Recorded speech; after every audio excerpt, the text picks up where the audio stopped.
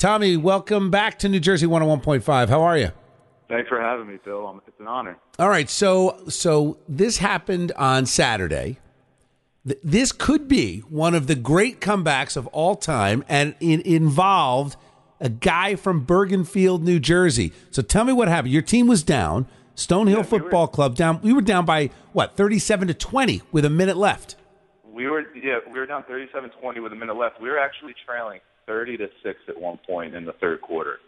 And um we rallied a comeback. Um we ended up scoring 20 points in the last minute and 2 seconds left in the game.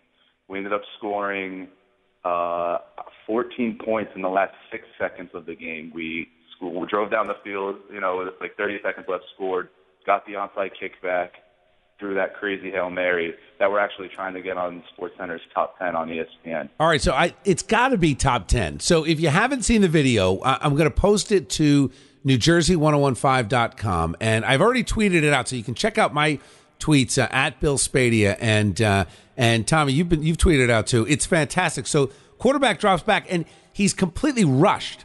So he's scrambling all over the field. It looks like there are a hundred defensemen after him.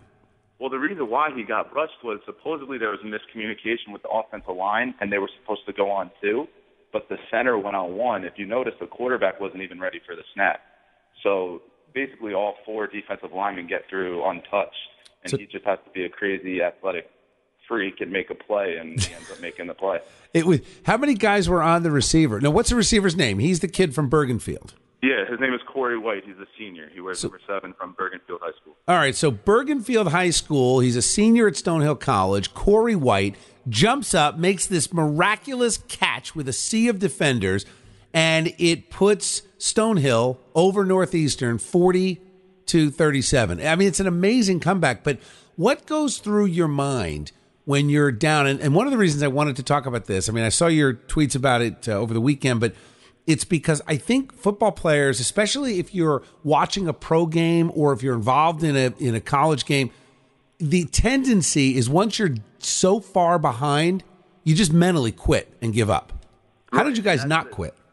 Yeah, that's the thing that coach mentioned actually uh, during our team meeting yesterday. He said the only reason why we won that game is because we were so hungry to be 4 0 since we're 4 0 now, and we just stuck together as a team and we didn't quit. And you know that that that's the reason right there why I, I know most college athletes play the sport they love, not just football, just because of that hungry that hunger to win.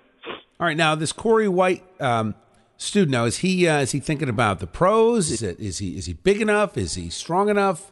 Uh, he's, he's a pretty big kid. Um, I, I don't know his height and weight exactly, but he's definitely uh, one of the top wide receivers at that that Stonehill's ever seen. So we'll definitely see as long as the season goes on. Yeah. All right. Now, how about you? You've got an injury. You coming back anytime soon? No, I actually just got surgery last week. I'm in a straight leg cast for a couple months, and uh, I'm on the road to recovery. But I'll be back for my senior year next season. There you go. All right, Tommy Farrell.